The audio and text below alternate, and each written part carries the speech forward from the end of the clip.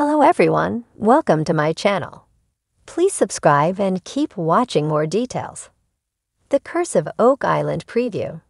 Team learns that map has been pointing to Treasure Vault all this time. This week on The Curse of Oak Island, an ancient map points the way to the fabled Treasure Vault and the Money Pit. As well as an intensification of borehole drilling in the Money Pit area We'll also see the guys get one of Gary Drayton's finds dated, and it is super old.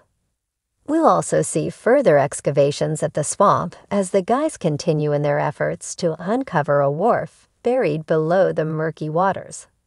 And the preview does appear to show Gary Drayton unearthing what appears to be a strange structure. We then hear archaeologist Laird Niven announce that that appears to a slipway the guys have been investigating a pier or wharf like structure in the swamp for the last few weeks now.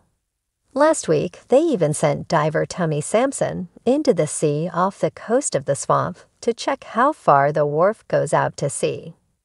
Unfortunately, Tony's search was inconclusive, but if they have now found a slipway in the swamp, then this all ties into the theory that ships were able to unload large amounts of cargo, hopefully treasure, in or around the marshy area and onto the island.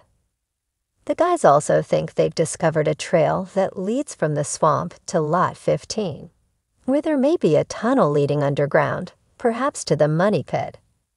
Add to that the exciting news that archaeologist Erin Helton is back on the show, and she thinks she knows where the treasure vault can be found. Helton specializes in maps, and she's been studying the ancient French map that Oak Island expert Zena Halpern previously gave to the team. In a previous episode, Helton correctly determined that the guys would find two stone markers at very precise locations, so she clearly knows what she's talking about. And according to the preview, she believes that Halpern's map has been pointing to the treasure all along. This week, we'll also see an old coin discovered by Gary get dated by an expert.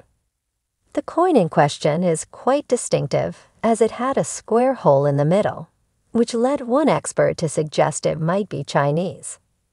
In the preview for this week, we hear an expert date the coin somewhere between 400 BC and 400 AD, meaning it's at least 1600 years old. This could be evidence that an ancient Chinese civilization visited the island.